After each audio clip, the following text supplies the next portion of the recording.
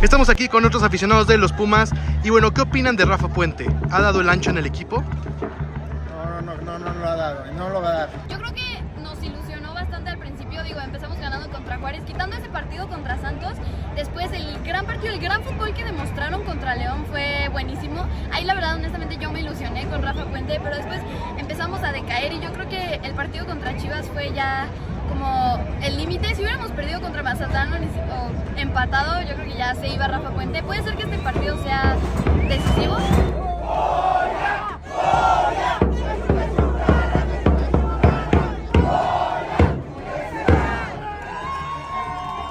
¿A quién traerían ustedes?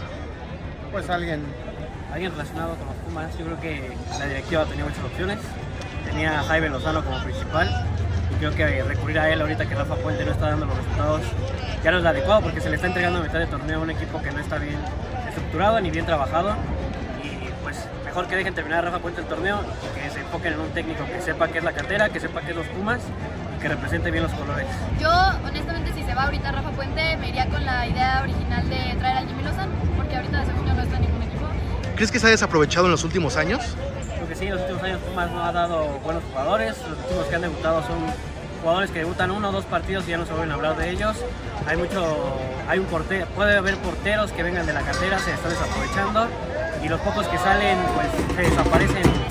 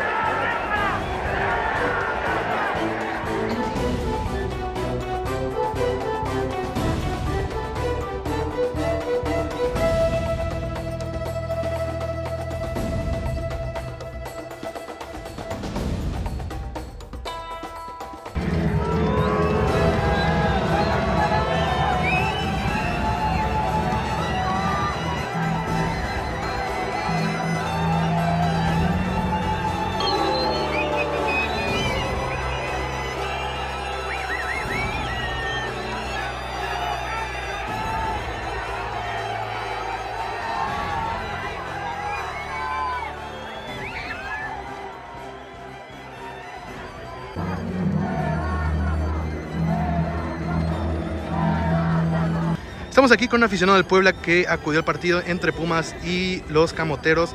¿Qué te pareció el partido? Magnífico, sobre todo el resultado. Nefasto, nefasto. El peor partido de Pumas en décadas. La verdad no, no digo que no me lo esperaba, quería que ganara, pero pues fue sorprendente un 4-2.